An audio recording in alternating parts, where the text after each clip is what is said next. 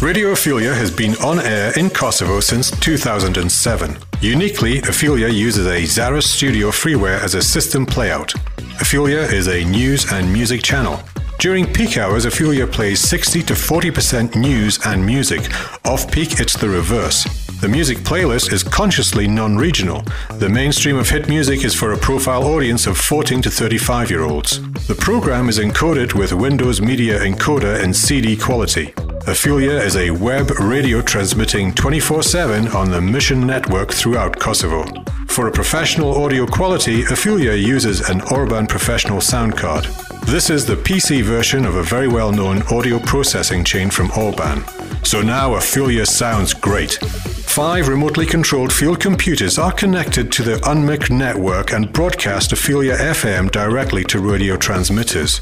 All the field computers are centrally controlled and monitored from Pristina.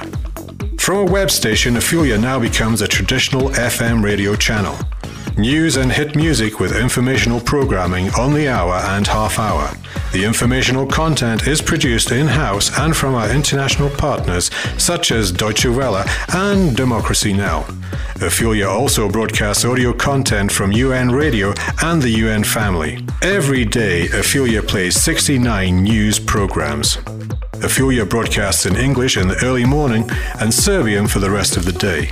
Ophelia Weekends has the best of the week stories and clubbing music at night. And now, this is the sound of Ophelia 107.2 FM. From Pacifica, this is Democracy Now! Kosovo authorities yesterday made an open call to The World Health Organization reports an increase in the number of cases of the HIV. That's why today I'm announcing a set of proposals to crack down on illegal overseas Kontraditore piše da bi predsjednik Kosova Fatmir Sejdiju trebalo... The plan to give up $7 billion in taxpayer money was buried in last week's bankruptcy It's alleged filing that by- foreign officials and companies also receive payments in return. Uoči vežbe ruski predsjednik Dmitrij Medvedev je izjavio Нельзя проводить военные учения. Nikada se ne organizuju What should I do if I think I have the illness? If you feel unwell, have high fever, cough, Vi slušate Ofiliju. I sada vesti koje vam predstavlja BBC radio. Slušate BBC. Mere koje su do sada preduzele vlade zemalja članica u borbi protiv globalne ekonomske krize mogu poslužiti kao temelj za oporavak Preventing nuclear proliferation. Encouraged by the UN, there are presently 230 Serbia's television B92 reaction team.